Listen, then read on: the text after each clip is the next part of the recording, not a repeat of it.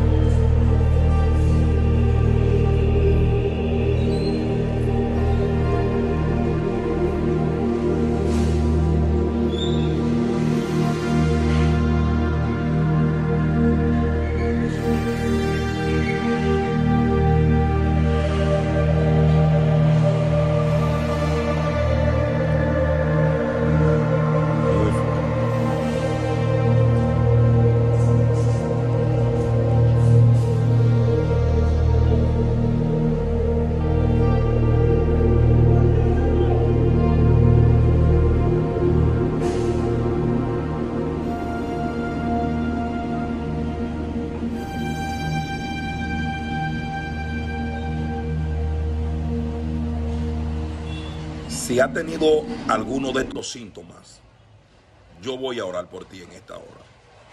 Voy a declarar una palabra de liberación sobre tu vida. Recuerda que la Biblia declara en el libro de Marcos capítulo 16, versículo 15, de ir por todo el mundo y predicar el Evangelio. Dice la Biblia, estas señales seguirán a los que creen en mi nombre, echarán fuera demonios. No sé lo que tú estás viviendo, no sé lo que tú estás pasando pero en este momento declaro una palabra de liberación sobre tu vida. Repite conmigo, por favor. Señor Jesús, en esta hora ordeno que todo lo que no es tuyo en mi vida se vaya. Soy libre de todo síntoma de brujería. Declaro libertad sobre mi cuerpo en el nombre poderoso de Jesús.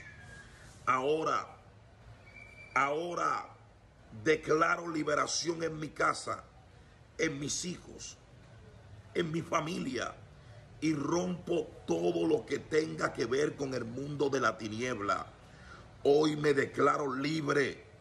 Si hiciste esta oración conmigo, permíteme por favor que yo voy a orar por ti. Normalmente, no repita conmigo. Padre, por el poder de la palabra, Dios del cielo, en esta hora Señor, te presento a esta persona, Dios, que de pronto ha tenido cualquier ataque demoníaco.